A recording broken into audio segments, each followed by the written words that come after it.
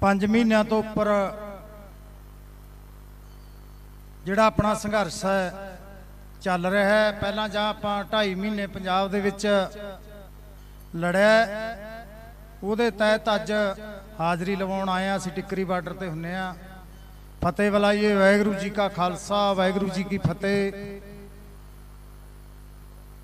ਕਿਉਂਕਿ ਤਰ੍ਹਾਂ ਤਰ੍ਹਾਂ ਦੇ ਜਿਹੜੇ ਸਵਾਲ ਹੈ ਸਾਡੇ ਮਨਾਂ ਦੇ ਵਿੱਚ ਖੜੇ ਨੇ ਕਈਆਂ ਦਾ ਜਿਹੜੇ ਸਾਡੇ ਨੌਜਵਾਨ ਹੈ, ਉਹ ਕਹਿੰਦੇ ਵੀ 5 ਮਹੀਨੇ ਹੋ ਗਏ, ਕਿੰਨਾ ਕੁ ਚਿਰ ਹੋਰ ਬੈਠਣਾ ਕੀ ਕੀਤਾ ਜਾਵੇ? ਜਿਹੜੇ ਸਾਡੇ ਲੜਨ ਵਾਲੇ ਜੁਝਾਰੂ, ਸਾਡੇ ਸੂਬਿਆਂ ਦੇ ਆਗੂ ਹੈ, ਹਿੰਦੁਸਤਾਨ ਦੇ ਸਾਰੀ ਕਮੇਟੀ ਬਣੀ ਹੈ 4-500 ਦੇ ਕਰੀਬ ਜਥੇਬੰਦੀਆਂ ਦਾ ਮੋਰਚਾ ਬਣਿਆ ਉਹ ਆਪ ਦੇ ਢੰਗ ਨਾਲ ਚੱਲ ਰਹੇ ਆ ਵੀ ਕਿਸ ਤਰ੍ਹਾਂ ਚਲਾਉਣਾ ਹੈ।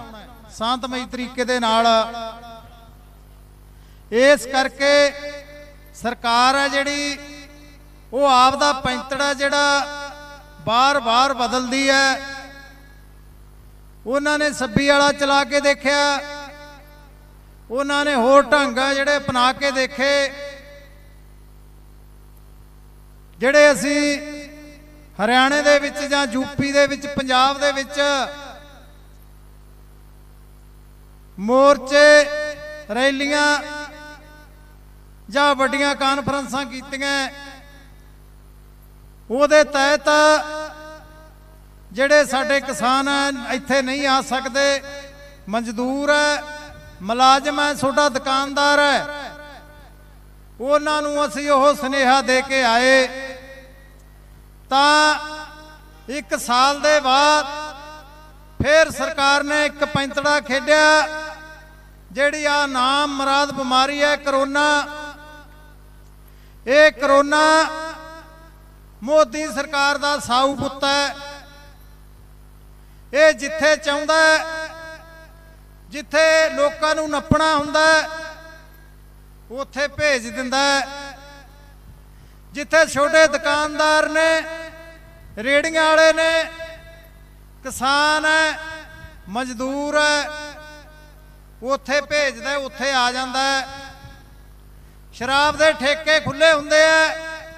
ਇਹਨਾਂ ਦੀਆਂ ਚੋਣ ਰੈਲੀਆਂ ਚੱਲੀਆਂ ਨੇ। ਇਹਨਾਂ ਦੇ ਕੁੰਭ ਦਾ ਮੇਲਾ ਚੱਲਿਆ। ਇਹਨਾਂ ਦੇ ਹੋਰ ਕਿਤੇ ਵੱਡੇ ਪ੍ਰੋਗਰਾਮ ਨੇ। ਉੱਥੇ ਇਹ ਕਰੋਨਾ ਨਹੀਂ ਜਾਂਦਾ। ਇਸ ਕਰਕੇ ਇਹ ਮੋਦੀ ਨੇ ਸਾਊ ਪੁੱਤਰ ਇਹਦਾ ਪਾਲ ਲਿਆ ਕਰੋਨਾ ਨੂੰ। ਜਿੱਥੇ ਵੀ ਲੋੜ ਪਊ, ਉੱਥੇ ਭੇਜੂਗਾ। ਠੀਕ ਹੈ। ਇੱਥੇ ਡਾਕਟਰ ਸਾਹਿਬ ਬੋਲ ਕੇ ਗਏ ਆ ਵੀ ਬਚਤ ਕਰਨੀ ਚਾਹੀਦੀ ਹੈ। ਮੈਨੂੰ ਵੀ 11ਵੇਂ ਮਹੀਨੇ ਦੇ ਵਿੱਚ ਭਰਾਵੋ ਕਰੋਨਾ ਆ ਗਿਆ ਸੀ। ਕਿਉਂਕਿ ਜਦੋਂ ਮੈਨੂੰ ਆਪ ਦੇ ਸਰੀਰ ਨੂੰ ਲੱਗਿਆ, ਮੈਂ ਪੰਜਾਬ ਦੇ ਵਿੱਚ ਸੀ ਤੇ ਮੈਨੂੰ ਲੱਗਿਆ ਵੀ ਕਰੋਨੇ ਵਰਗਾ ਜਿਹਾ ਸਰੀਰ ਬਣਦਾ ਜਾਂਦਾ ਐ ਜੇ ਕਹਿੰਦੇ ਹੁੰਦੇ ਆ। ਮੈਂ ਚੈੱਕ ਕਰਾ ਲਿਆ। ਦੂਜੇ ਦਿਨ ਰਿਪੋਰਟ ਆਈ ਵੀ ਕਰੋਨਾ ਆ ਗਿਆ। ਮੈਂ ਕਿਹਾ, ਕੀ ਕਰਾਂ? ਕਹਿੰਦੇ ਵੀ ਘਰੇ ਰਹੀ। ਇਹ ਕਹਿੰਦੇ ਆ ਨਾ ਵੀ ਇੱਕ ਦੂਜੇ ਤੋਂ ਫੈਲਦਾ ਮੇਰੇ ਪਰਿਵਾਰ ਦੇ 18 ਮੈਂਬਰ ਨੇ, ਚਾਰ ਭਾਈਆਂ, ਬੱਚੇ, ਦੂਜਿਆਂ ਦੇ ਘਰ ਵਾਲੀਆਂ। ਪਰ ਉਹ ਮੈਥੋਂ ਜਦੋਂ ਕਹਿਤਾ ਵੀ ਅੱਜ ਕਰੋਨਾ ਤੈਨੂੰ, ਮੈਂ ਉਦੋਂ ਦਾ ਅੱਡ ਹੋ ਗਿਆ। ਉਹਨਾਂ ਨੇ ਕੋਈ ਦਵਾਈ ਨਹੀਂ ਲਈ ਕੁਝ ਨਹੀਂ ਕੀਤਾ। ਉਹਨਾਂ ਨੂੰ ਹੋਇਆ ਨਹੀਂ। ਫਿਰ ਇਹ ਕਹਿੰਦੇ ਆ ਵੀ ਕਰੋਨਾ ਸਾਹ ਦੇ ਨਾਲ ਹਵਾ ਜਿਹੜੀ ਅੰਦਰੋਂ ਬਾਹਰ ਆਉਂਦੀ ਆ, ਉਹਦੇ ਨਾਲ ਇਹ ਫੈਲਦਾ ਹੁਣ ਇੱਕ ਮਰੀਜ਼ ਆ ਜਿਹੜਾ ਕਰੋਨਾ ਵਾਲਾ, ਉਹਦੀ ਮੌਤ ਹੋ ਗਈ, ਹਸਪਤਾਲ ਦੇ ਵਿੱਚ ਕਿਤੇ ਵੀ ਹੋ ਗਈ। ਜਦੋਂ ਮੌਤ ਹੋ ਗਈ, ਬੰਦਾ ਮਰ ਜਾਂਦਾ ਤਾਂ ਸਾਹ ਤਾਂ ਆਉਂਦਾ ਨਹੀਂ ਉਹਦਾ ਬਾਹਰ। ਉਹਦਾ ਉੱਥੇ ਸਾਰਾ ਸਰੀਰ ਖੜ ਗਿਆ ਉਹਦਾ, ਫਿਰ ਉਹ ਤੋਂ ਡਰਨ ਦੀ ਕੀ ਲੋੜ ਹੈ? ਜਦੋਂ ਸਾਹ ਹੀ ਨਹੀਂ ਬਾਹਰ ਆਉਂਦਾ ਉਹਦੀ ਹਵਾ ਬਾਹਰ ਨਹੀਂ ਨਿਕਲਦੀ, ਫਿਰ ਦੂਜਿਆਂ ਨੂੰ ਕਿੱਥੋਂ ਜਾਊਗਾ? ਇਸ ਤਰ੍ਹਾਂ ਸਾਡੇ 'ਚ ਭਰਮ ਭਲੇਖੇ ਪਾਏ ਜਾਂਦੇ ਵੀ ਮੂੰਹ ਬੰਨ ਕੇ ਰੱਖੋ, ਠੀਕ ਹੈ? ਜਦੋਂ ਅਸੀਂ ਤੁਰਦੇ ਫਿਰਦੇ ਸਾਡਾ ਸਾਹ ਬਾਹਰ ਵੀ ਆਉਂਦਾ, ਅੰਦਰ ਵੀ ਆਉਂਦਾ, ਉਹ ਤਾਂ ਅਸੀਂ ਮੰਨ ਸਕਦੇ ਹਾਂ। ਜਦੋਂ ਮੌਤ ਹੋ ਗਈ, ਉਦੋਂ ਕੀ ਉਹ ਤੋਂ ਖਤਰਾ ਹੋ ਗਿਆ? ਇਸ ਤਰ੍ਹਾਂ ਸਾਡੇ 'ਚ ਭਰਮ ਭਲੇਖੇ ਪਾਤੇ ਵੀ ਜਿਹੜੇ ਮੌਤ ਹੋਈ ਹੈ, ਵੀ ਇਹ ਦੇਖ ਨਾ ਲੈਣ ਵੀ ਇਹ ਤਾਂ ਕੀ ਕੀਤਾ, ਕਿਉਂ ਅਸੀਂ ਨੈਟ ਦੇ ਜ਼ਰੀਏ ਸਾਰਾ ਕੁਝ ਦੇਖਦੇ ਇੱਕ ਕਹਿੰਦੇ ਵੀ ਵੋਟਾਂ ਜਾਲੀ ਪਾਉਣ ਵਾਲੇ ਕਿਰਾਏ ਤੇ ਮਿਲ ਜਾਂਦੇ ਨੇ। ਜ਼ਮੀਨਾਂ ਤੇ ਕਬਜ਼ੇ ਕਰਨ ਵਾਲੇ ਕਿਰਾਏ ਤੇ ਮਿਲ ਜਾਂਦੇ ਆ ਗੁੰਡਾਗਰਦੀ ਕਰਨ ਵਾਲੇ ਕਿਰਾਏ ਤੇ ਮਿਲ ਜਾਂਦੇ ਨੇ। ਇੱਕ ਕਰੋਨਾ ਵਾਲੇ ਮੁਰਦੇ ਵੀ ਕਿਰਾਏ ਤੇ ਦੇਖੇ ਗਏ ਆ ਉਹਨਾਂ ਦੇ ਉੱਪਰ ਦੀ ਬੰਨ ਕੇ ਸਾਰਾ ਕੁਝ ਐ ਢੇਰ ਲਾਇਆ ਪਿਆ। ਕਹਿੰਦੇ ਵੀ ਇੰਨੇ ਮਰੇ ਪਏ ਆ ਉਹਦੇ ਵਿੱਚੋਂ ਕਿਸੇ ਨੇ ਵੀਡੀਓ ਬਣਾਈ, ਇੱਕ ਸਾਈਡ ਤੇ ਪਿਆ ਮੂੰਹ ਨੰਗਾ ਕਰਕੇ ਸਿਰਗਟ ਪੀ ਜਾਂਦਾ ਮੁਰਦਾ। ਇਸ ਤਰ੍ਹਾਂ ਦੇ ਹਾਲਾਤ ਆ ਜਿਹੜੇ ਇਥੋਂ ਦੀਆਂ ਸਰਕਾਰਾਂ ਬਣਾ ਰਹੀਆਂ, ਸਾਨੂੰ ਬੁੱਧੂ ਬਣਾ ਰਹੀਆਂ, ਲੋਕਾਂ ਨੂੰ ਕਿਰਤ ਕਿਰਤ ਕਰਨ ਵਾਲੇ ਜਿਹੜੇ ਲੋਕ ਐ ਕਿਉਂਕਿ ਇਥੋਂ ਦਾ ਮੀਡੀਆ ਕੁਝ ਨਹੀਂ ਦਿਖਾਉਂਦਾ। ਸੋਸ਼ਲ ਮੀਡੀਆ ਦੇ ਧੰਨਵਾਦੀਆਂ ਸੀ, ਜਿਹੜਾ ਕੁਝ ਇਹ ਜਿਹਾ ਸਾਨੂੰ ਲੋਕਾਂ ਤੱਕ ਦਿਖਾ ਰਹੇ ਨੇਗੇ। ਇਹ ਤੋਂ ਡਰਨ ਦਾ ਬੜਾ ਲੋੜ ਨਹੀਂ ਆਪਾਂ ਨੂੰ। ਇਹ ਸਰਕਾਰ ਨੂੰ ਭੁਲੇਖਾ ਕਿ ਅਸੀਂ ਕਰੋਨਾ ਦੇ ਕਾਰਨ ਅਸੀਂ ਟੱਕਰ ਦਿਆਂਗੇ। ਨਹੀਂ ਜਾਣ ਵਾਲੇ ਇਹ ਲੋਕ, ਕਿਉਂਕਿ ਠੀਕ ਹੈ ਇਕੱਠ ਕੱਟ ਹੋ ਜਾਂਦਾ ਸਾਡਾ ਕਣਕ ਦਾ ਸੀਜ਼ਨ ਸੀ, ਬਾਡੀ ਦਾ ਕੁਝ ਬਾਰਸ ਪੈਗੀ ਕੁਝ ਸਰਕਾਰਾਂ ਨੇ ਬਾਰਦਾਨਾ ਨਹੀਂ ਭੇਜਿਆ, ਲੇਟ ਹੈ। ਵੱਡੀ ਗਿਣਤੀ ਦੇ ਵਿੱਚ ਕਿਸਾਨ ਫੇਰ ਨੌਜਵਾਨ ਸਾਡੀਆਂ ਮਾਮਾ ਭੈਣਾਂ ਵੱਡੀ ਗਿਣਤੀ ਦੇ ਵਿੱਚ ਤਿਆਰੀ ਕਰਕੇ ਆ ਰਹੇ ਨੇ। ਤੁਸੀਂ ਦੱਸੋ ਤੁਹਾਨੂੰ ਕਿੰਨਾ ਇਕੱਠ ਚਾਹੀਦਾ ਤੁਸੀਂ ਸਾਡੇ ਨਾਲ ਵਾਅਦਾ ਕਰੋ ਕਿ ਇੰਨਾ ਇਕੱਠ ਕਰੋ, ਫਿਰ ਅਸੀਂ ਇਹ ਜਿਹੜੇ ਵਾਪਸ ਲਵਾਂਗੇ। ਇੱਕ ਕੌਲ ਦੀ, ਫੋਨ ਕੌਲ ਦੀ ਦੇਰ ਹੈ। ਸਾਰਾ ਪੰਜਾਬ, ਹਰਿਆਣਾ, ਰਾਜਸਥਾਨ, ਉੱਤਰ ਪ੍ਰਦੇਸ਼ ਦੇ ਕਿਸਾਨ ਤੇਰੀਆਂ ਸੜਕਾਂ ਜਾਮ ਕਰ ਦੇਣਗੇ। ਪਹਿਲਾਂ ਮੋਦੀ ਨੇ ਕਿਹਾ ਸੀ ਕਿ ਇੱਕ ਫੋਨ ਕਾਲ ਦੀ ਦੇਰ ਹੈ ਕਿਸਾਨਾਂ ਨਾਲ, ਪਰ ਤੇਰੀ ਫੋਨ ਕਾਲ ਅਜੇ ਤੱਕ ਨਹੀਂ ਆਈ। ਪਰ ਜੇ ਅਸੀਂ ਇਥੋਂ ਸਟੇਜ ਤੋਂ ਸੰਯੁਕਤ ਮੋਰਚਾ ਕਾਲ ਕਰਦੇ ਤਾਂ ਤੇਰੀਆਂ ਸੜਕਾਂ ਨੇ ਭਾਰ ਨਹੀਂ ਝੱਲਣਾ। ਇਹ ਭਲੇਖਾ ਕਿ ਕਿਸਾਨ ਘੱਟ ਨੇ ਜਾਂ ਕਿਸਾਨਾਂ ਦੇ ਮਨਾਂ ਦੇ ਵਿੱਚ ਉਹ ਆ ਗਿਆ ਵੀ ਇਹ ਲੰਮਾ ਚਲੂ ਚੱਲੂਗਾ।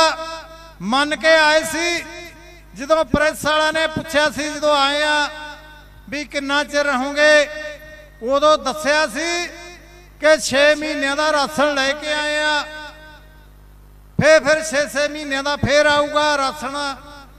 ਅਸੀਂ ਜਾਣ ਵਾਲੇ ਨਹੀਂ। ਜਿੰਨਾ ਚਿਰ ਕਾਲੇ ਕਾਨੂੰਨ ਹੈ, ਇਹ ਰੱਦ ਨਹੀਂ ਹੁੰਦੇ। ਇਸ ਕਰਕੇ ਕਰੋਨਾ ਦਾ ਬਹਾਨਾ ਮਤ ਲਾਓ। ਪਹਿਲਾਂ ਥੋੜਾ ਚਿਰ ਹੋ ਗਿਆ 2 ਮਹੀਨੇ।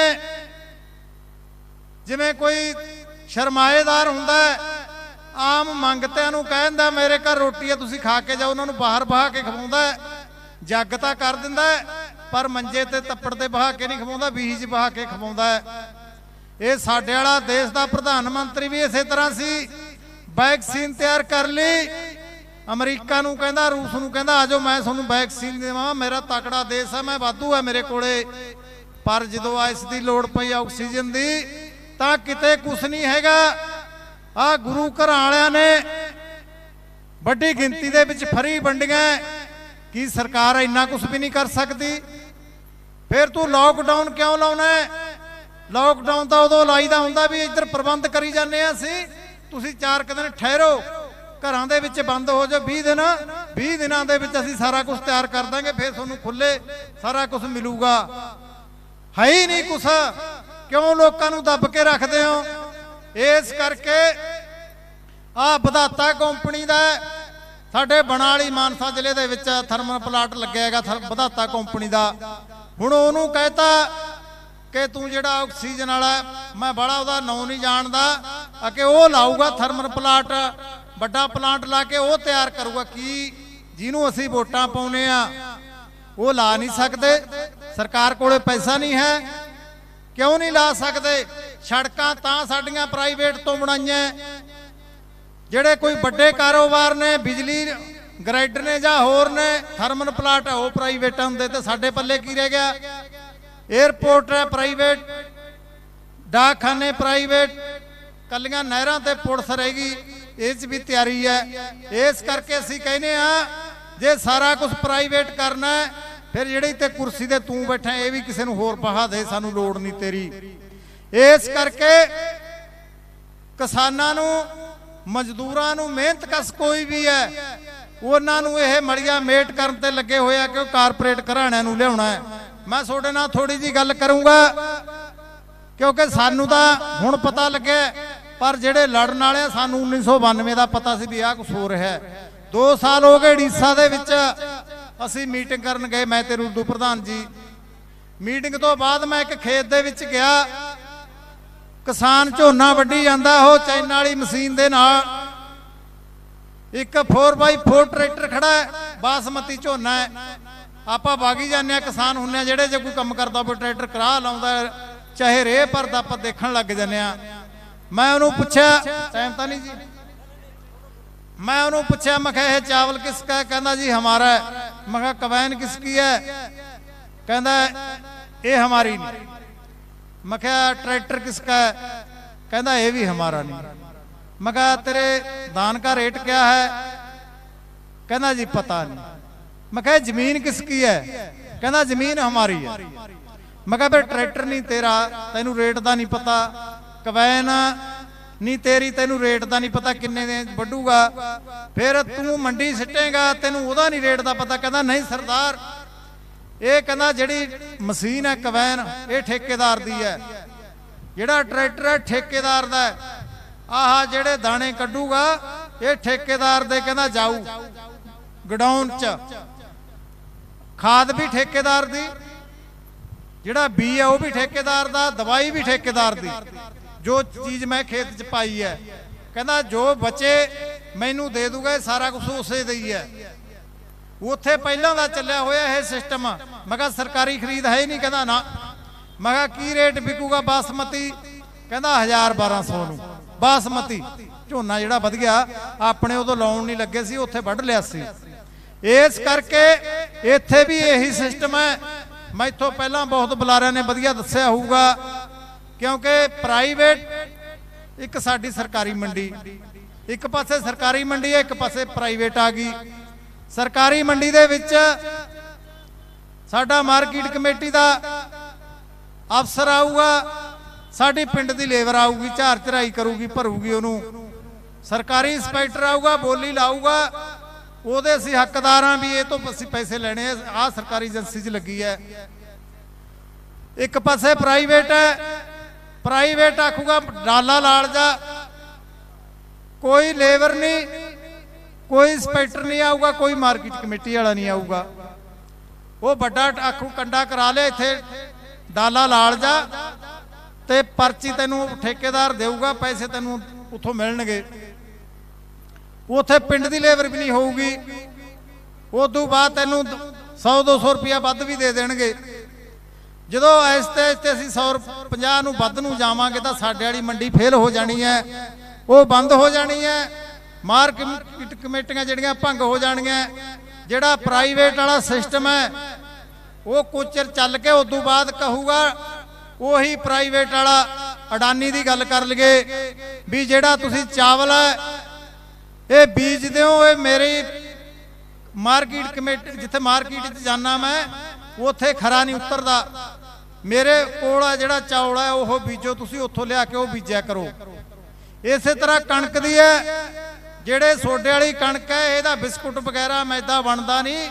ਮੇਰੇ ਕੋਲੇ ਵੀ ਹੈ ਮੋਗੇ ਦੇ ਵਿੱਚ ਗਡਾਉਣ ਦੇ ਵਿੱਚ ਉਹ ਲਿਆ ਕੇ ਬੀਜੋ। ਬੀਜ ਲਾਂਗੇ, ਚੱਲ ਵੀ ਆਪਾਂ ਕਹਾਂਗੇ ਵੀ ਬੀਜਣੇ ਹੀ ਹੈ। ਫਿਰ ਉਹਨੇ ਕੀ ਕਰਨਾ ਉਹਨੇ ਕਹਿਣਾ, ਜਿਹੜੀਆਂ ਆਪਣੇ ਪਿੰਡਾਂ ਦੇ ਵਿੱਚ ਹਰੇਕ ਘਰ ਕੋਲੇ ਤੀ- ਹਰ ਤੀਜੇ ਚੌਥੇ ਘਰ ਕੋਲੇ ਕਬੈਨ ਖੜੀ ਹੈ। 15 20 20 ਲੱਖ ਰੁਪਇਆ ਲਾਇਆ ਫਿਰ ਉਹਨੇ ਕਹਿਣਾ ਵੀ ਜਿਹੜੀਆਂ ਸੋਡੀਆਂ ਕਬੈਨਾਂ ਦਾਣੇ ਭੰਦੀਆਂ ਰੇਤਾ ਚੱਕਦੀਆਂ ਸਾਡੇ ਵਾਲੀ ਕਬੈਨ ਹੈ ਜਿਹੜੀ ਇਹ ਵੱਢੂਗੀ। ਫਿਰ ਆਪਾਂ ਕਹਾਂਗੇ, ਹੋਰ ਕੀ ਹੈ ਭਾਈ, ਤੇਰੇ ਵਾਲੀ ਕਬੈਨ ਤੋਂ ਵਢਾ ਲਾ। ਉਹਦੇ ਵਾਲੀ ਕਬੈਨ ਵੱਢੂਗੀ, ਉਹੀ ਖਰੀਦੂਗਾ, ਕਿਉਂਕਿ ਸਾਡੇ ਵਾਲੀਆਂ ਮੰਡੀ ਦਾ ਭੰਗ ਹੋ ਜਾਣੀ ਹੈ, ਉੱਥੇ ਕੋਈ ਨਹੀਂ ਆਉਣਾ।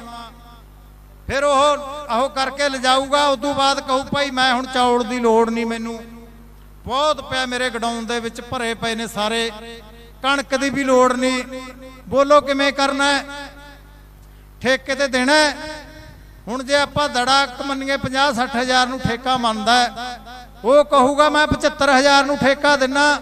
ਇਹ ਆਹ ਸਾਲ ਦਾ ਅਗਲੇ ਸਾਲ ਵਧਾਉਂਗਾ 10 ਸਾਲ ਦਾ ਤੁਹਾਨੂੰ ਪੱਕਾ ਪੈਸੇ ਦਿਨਾ ਇਕੱਠੇ। 10 ਸਾਲ ਦਾ ਠੇਕਾ ਦਿਨਾ, ਬੋਲੋ ਲੈਣਾ ਇਹੋ ਜਿਹਾ ਕਿਸਾਨ ਕੋਈ ਨਹੀਂ ਹੋਊਗਾ। ਜਿਹੜਾ ਨਾ ਕਹੂਗਾ, ਕਿਉਂਕਿ ਅਸ- ਅੱਜ ਅਸੀਂ ਕਰਜ਼ੇ ਦੀ ਦਲਦਲ ਦੇ ਵਿੱਚ ਫਸੇ ਹੋਏ ਆ। ਕਰਜ਼ਾ ਸਾਡੇ ਜੁਮੇ 90000 ਕਰੋੜ ਤੋਂ ਪਾਰ ਕਰ ਗਿਆ। ਅਸੀਂ ਸੋਚਾਂਗੇ, ਮਕਾਨ ਪਾ ਲਾਂਗੇ ਜਿਹਦੇ ਕੋਲੇ ਮਕਾਨ ਹੈ, ਉਹ ਆਖੂ, ਲੜਕੀ ਤੋਰਨੀ ਹੈ, ਮੈਂ ਮੁੰਡੇ ਦਾ ਵਿਆਹ ਕਰਨਾ, ਹੋਰ ਕਿੰਨੇ ਐ ਸਾਡੇ ਘਰਾਂ ਦੇ ਵਿੱਚ ਸਾਡੀ ਮਾਂ ਬੈਠੀ ਹੈ, ਕੈਂਸਰ ਦੀ ਮਰੀਜ਼। ਆ ਸਾਡੇ ਗੋਡੇ ਦੁਖਦੇ ਆ, ਢੂਈਆਂ ਕੁੱਪੀਆਂ ਹੋਈਆਂ ਪਈਆਂ ਸੀ, ਇਲਾਜ ਕਰਾਉਣ ਲਈ ਥੋੜਾ ਜਿਹਾ ਥੁੜੇ ਪਏ ਆ, ਵੀ ਠੀਕ ਹੈ ਇਕੱਠਾ ਪੈਸਾ ਆਉਂਦਾ, ਜ਼ਮੀਨ ਤਾਂ ਆਪਣੀ ਹੈਗੀ ਆ ਨਾ। ਠੇਕਾ ਆਉਂਦਾ 10 ਸਾਲ ਦਾ 5-10 ਲੱਖ ਰੁਪਇਆ ਲੈ ਕੇ, ਉਹ ਕਹੂਗਾ, ਲੈ ਤੁਹਾਡੇ ਨਾਲ ਐਗਰੀਮੈਂਟ ਹੋ ਗਿਆ 10 ਸਾਲ ਤੁਸੀਂ ਖੇਤ 'ਚ ਨਹੀਂ ਵੜਨਾ। ਫਿਰ ਸੋਚਿਆ, ਜਿਹੜੇ ਵੱਟ ਪਿੱਛੇ ਅਸੀਂ ਕਿਸੇ ਗਵਾਂਢੀ ਨਾਲ ਲੜੇ ਸੀ, ਅਸੀਂ ਦਾਬੋ ਦਾਬੀ ਹੋਏ ਸੀ, ਜੇਲ੍ਹ ਵੀ ਗਏ ਸੀ ਜਾਂ ਅਸੀਂ ਇੱਕ ਦੂਜੇ ਦਾ ਕਤਲ ਵੀ ਕਰਿਆ, ਵੱਟ ਪਿੱਛੇ, ਘੜਨ ਪਿੱਛੇ ਜਾਂ 5 ਮਿੰਟ ਪਾਣੀ ਪਿੱਛੇ। ਸੋਚਿਆ ਕਦੇ? ਕਿਸੇ ਦਰਖਤ ਥੱਲੇ ਬਹਿ ਕੇ ਅਸੀਂ ਸਾਂਝਾ ਨੇ ਚਾਹ ਵੀ ਪੀਤੀ ਹੋਊ ਗਮੰਡੀਆਂ ਨੇ, ਰੋਟੀ ਖਾਧੀ ਹੋਊ। ਫਿਰ ਉਸੇ ਨੇ ਅਡਾਨੀ ਗਰੁੱਪ ਨੇ ਉਹੀ ਸਾਡੀਆਂ ਵੱਟਾਂ ਚੱਕ ਦੇਣੀਆਂ, ਸਾਡੀਆਂ ਪਈਆਂ ਢਾ ਦੇਣੀਆਂ, ਖਾਲ ਢਾ ਦੇਣੇ ਨੇ। ਫਿਰ ਜਿਹੜੇ ਦਰਖਤ ਥੱਲੇ ਸੀ ਬਹਿ ਕੇ ਤਾਂਸ ਖੇਡਿਆ ਹੋਣਾ, ਚਾਹ ਪੀਤੇ ਉਹਨੇ ਪੱਟ ਦੇਣੇ, ਉਹਨੂੰ ਕੋਈ ਲੋੜ ਨਹੀਂ, ਉਹ ਕਿਉਂ ਖਰਾਬ ਕਰੂਗਾ ਆਪਦੀ ਫਸਲ ਇੰਨੀ? ਤਾਰ ਫੇਰ ਦੇਣੀ ਹੈ। ਸਾਰਾ ਕੁਝ ਉਹਨੇ ਪੱਟ ਕੇ ਤਾਰ ਫੇਰ ਕੇ, ਫਿਰ ਸਾਡੇ ਜਿਹੜੇ ਮੇਰੇ ਪਿਓ ਵਰਗੇ ਬਜ਼ੁਰਗ ਨੇ, ਉਹ ਸੋਚੂਗਾ ਵੀ ਮੇਰਾ ਜ਼ਮੀਨ ਨਾਲ ਪਿਆਰ ਹੈ। ਮੈਂ ਜ਼ਮੀਨ ਦੇਖ ਕੇ ਆਉਣੀ ਹੈ, ਮੇਰਾ ਉੱਥੇ ਜੇ ਖੇਤ ਸੀ, ਭਰਾਵੋ, ਉਹਨਾਂ ਨੇ ਫਿਰ ਫੀਸ ਰੱਖਣੀ ਹੈ। ਠੇਕੇਦਾਰ ਨੇ ਲੈ 500 ਰੁਪਿਆ ਲੱਗੂ ਜਾਂ 100 ਇੰਨੇ ਘੰਟਿਆਂ ਦੇ ਵਿੱਚ ਆਪਦਾ ਖੇਤ ਨਿਸ਼ਾਨੀ ਜੀ ਦੇਖ ਕੇ ਮੁੜਾ ਨਿਸ਼ਾਨੀ ਸਾਨੂੰ ਕੁਛ ਨਹੀਂ ਥਿਆਉਣੀ ਇਹੋ ਜਿਹੇ ਹਾਲਾਤ ਆ ਜਿਹੜੇ ਪੈਦਾ ਕਰਨੇ ਇਹਨਾਂ ਨੇ ਸਾਡੇ ਨਾਲ। ਕਿਉਂਕਿ ਬਾਹਰਲੀਆਂ ਸਟੇਟਾਂ ਦੇ ਵਿੱਚ ਮੌਕਾ ਮਿਲਿਆ ਜਾਣ ਦਾ ਮੀਟਿੰਗਾਂ ਦੇ ਵਿੱਚ, ਪ੍ਰਧਾਨ ਦਰੂਦੂ ਸਿੰਘ ਦੇ ਨਾਲ ਮੈਨੂੰ। ਬਹੁਤ ਹਾਲਾਤ ਮਾੜੇ ਨੇ। ਠੀਕ ਹੈ, ਜੇ ਅੱਜ ਦਾ ਅੰਦੋਲਨ ਚੱਲਿਆ, ਸਾਡੇ ਪਸ- ਪੰਜਾਬ ਦੇ ਕਿਸਾਨਾਂ ਤੇ ਹਰਿਆਣੇ ਦੇ ਇਹ ਤੋਂ ਬਾਅਦ ਦੂਸਰੇ ਜੁੜੀ ਗਏ ਐ। ਲੜ ਰਹੇ ਆ, ਅਡਾਨੀਆਂ ਅਵਾਨੀਆਂ ਨੂੰ ਭਜਾਵਾਂਗੇ। ਮੇਰੀਆਂ ਭੈਣਾਂ, ਸਾਡੇ ਵੀਰ, ਨੌਜਵਾਨ ਵੀਰ, ਇਸ ਕਰਕੇ ਤਕੜੇ ਰਹੋ। ਘਬਰਾਉਣਾ ਨਹੀਂ ਇਕੱਠ ਵੱਧ ਘੱਟ ਹੁੰਦੇ ਰਹਿੰਦੇ, ਮੈਂ ਪਹਿਲਾਂ ਦੱਸਿਆ ਜੰਗ ਹੈ ਜਿਹੜੀ, ਇਹ ਜਾਰੀ ਰਹਿਣੀ ਹੈ ਇਸ ਕਰਕੇ ਕੁਝ ਮੇਰੇ ਨੌਜਵਾਨ ਵੀਰ, ਅਸੀਂ ਉੱਥੇ ਮੀਟਿੰਗ ਕਰਨਾ ਸੀ ਉੱਤੇ ਰੌਲਾ ਪਾਉਣ ਲੱਗੇ। ਮੈਂ ਉਹਨਾਂ ਨੂੰ ਪੁੱਛਿਆ ਵੀ ਕੀ ਗੱਲ ਹੈ ਕਹਿੰਦੇ ਜੀ ਸੰਸਤ ਮਾਰਚ ਕੰਨੀ ਕਹਿੰਦੇ ਜਾਣਾ ਸੀ। ਕਹਿੰਦੇ ਉਹ ਕਿਉਂ ਕੈਨਸਲ ਕਰਤੀ? ਮੈਂ ਕਿਹਾ ਕੈਨਸਲ ਨਹੀਂ ਹੁੰਦੀ। ਪੋਸਟਪੋਨ ਹੁੰਦੀ ਹੈ ਕਹਿੰਦੇ ਉਹ ਕੀ ਹੁੰਦਾ? ਮੈਂ ਕਿਹਾ ਪੋਸਟਪੋਨ ਦਾ ਮਤਲਬ ਹੁੰਦਾ, ਚਾਹੇ ਕੱਲ ਨੂੰ ਰੱਖ ਦਈਏ ਫੇਰ, ਚਾਹੇ 2 ਮਹੀਨਿਆਂ ਨੂੰ ਰੱਖ ਦਈਏ। ਇੱਕ ਹੁੰਦੀ ਹੈ ਰੱਦ ਕਰਤੀ।